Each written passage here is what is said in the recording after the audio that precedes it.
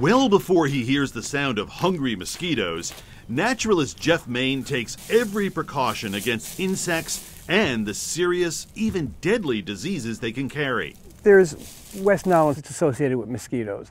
Um, and there's Lyme disease, of course, which is associated with tick bites. Main always wears light colored, loose clothing with long sleeves. He tucks his pants into his socks and he uses insect repellent, avoiding, if possible, those with the chemical DEET. Consumer Reports has tested both types of repellents, those with DEET and plant based ones without DEET. We think that DEET is really an insect repellent that you should use as a last resort. And you should certainly not use it in any concentration of more than 30%.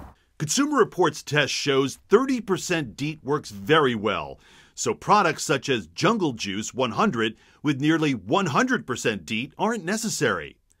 And with DEET exposure, there are possible side effects like skin blisters, slurred speech, and even seizures or coma. Also, avoid devices that clip on and use a fan to circulate repellent around you. Products like Off Clip On contain the active ingredient metofluthrin, which Consumer Reports says can pose risks to your nervous system and their tests, done several years ago, found it doesn't work very well anyway. Consumer Reports says consider using repellents that contain no DEET, like Repel's lemon eucalyptus, or products with picaridin, which is similar to a compound in black pepper.